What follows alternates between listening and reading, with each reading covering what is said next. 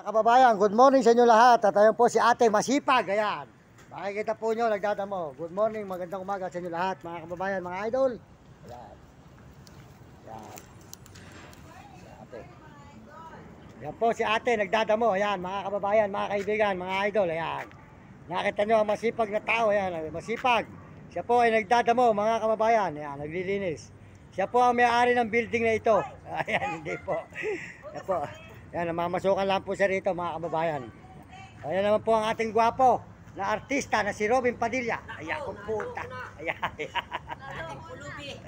Ayan, masipag po si ate, mga kababayan, mga idol. Ayan, nagdadamo. Ayan, dito po sa may San Fernando, Pampanga. Ayan.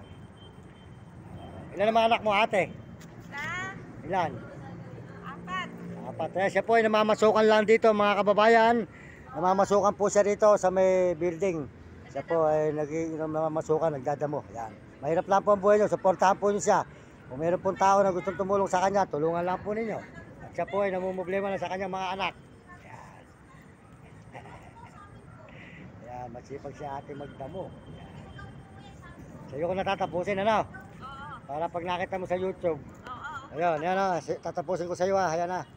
Ayan, gagawin ko muna ng 2 minutes para maganda-ganda. Matagal-tagal.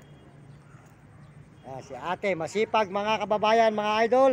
Maraming maraming salamat sa inyo lahat dito sa San Fernando, Pampanga. Ayan.